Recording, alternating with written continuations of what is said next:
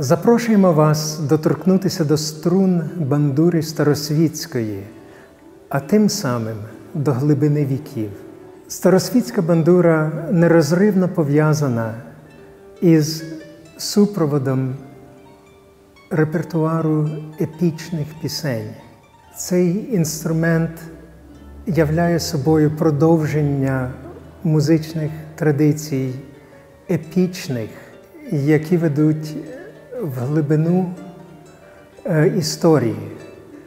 Е, Це є і епічні співи часів Гомера, і пізніші середньовічні епічні традиції, і епічні традиції в різних куточках світу, різних народів.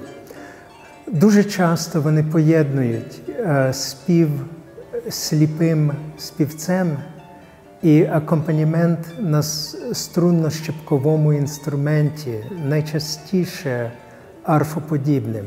І ось таким і є старосвітська бандура. Такий інструмент самою чистотою звуку своїх струн втягає слухача у світ співака і робить можливим епічну розповідь. Найдавніші українські епічні пісні, думи, оспівують боротьбу в минулому за північне побережжя Чорного моря, за степи сьогоднішньої України. Але існують також і пізніші думи, де оспівуються герої щоденного життя. Сама традиція разом із її носіями, останніми сліпцями, е, кобзарями, була практично знищена у 30-х роках ХХ століття в часи сталінських репресій. І фактично відродження цього інструменту сьогодні е, походить від е, одного єдиного музиканта, який зберіг ці традиції виконання і цей інструмент протягом ХХ століття і вже е, в старшому віці міг це показати студентам.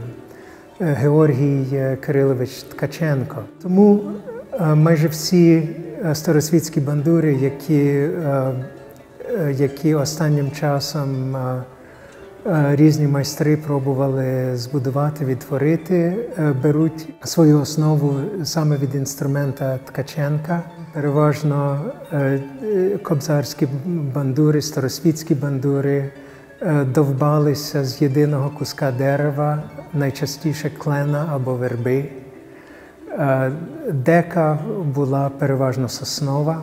Кількість струн була досить стабільною і найчастіше зараз ставлять так, як на інструменті Ткаченка 21. Ці струни охоплюють діапазон чотирьох октав.